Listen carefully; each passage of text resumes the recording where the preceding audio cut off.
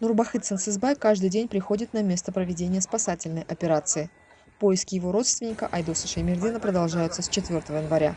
Айдос с коллегами находился в салоне автобуса, который провалился в огромную воронку после обвала грунта на Майкаинском руднике. 12 дней спустя ЧСники не могут добраться до автобуса. күнді ертеңге шыдадық бір күн шыдаңдар екі күн қалды жетуге үш күн қалды одан кейін су шығып кетті тасқа кездесіп қалдық енді мен ойлаймын бір ә, кәсіби тұрғыда м, жаңағы ғылыми зерттеу орталықтарынан адамдар алғызу керек шығар. Су қай жерден шығады тас қай жерден шығады білу керек шығар. Экскаваторды бүгін түсірді жатқан жерін белгіледі анықтады жатқан жерін.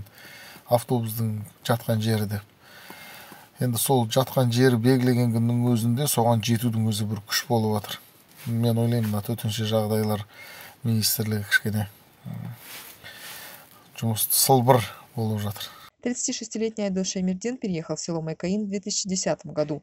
Около 14 лет работал спасателем, воспитывал супруга пятерых детей. Старшему из них 12 лет, младшему полтора года. Это видео камер наблюдения, снятое 4 января.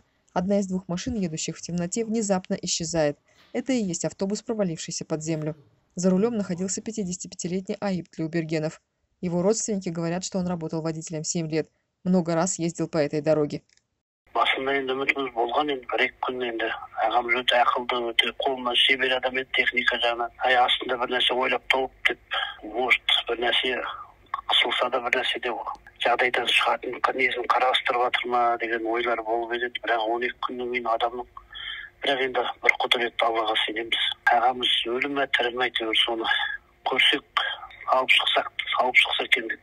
В автобусе, который ехал по вызову диспетчера и ушел под землю, находились четыре человека – водитель и два спасателя. Тела двоих нашли 4 января, в день ЧП. Поиски еще двоих ведут с применением тяжелой техники. Операция на дне воронки глубиной около 200 метров опасна для задействованных в ней людей, говорят в МЧС. В Министерстве по чрезвычайным ситуациям назвали случай в Майкаине беспрецедентным и сообщили, что операция будет проводиться с учетом зарубежного опыта. Сегодня в ведомстве заявили, что изучают зарубежные практики в аналогичных ситуациях.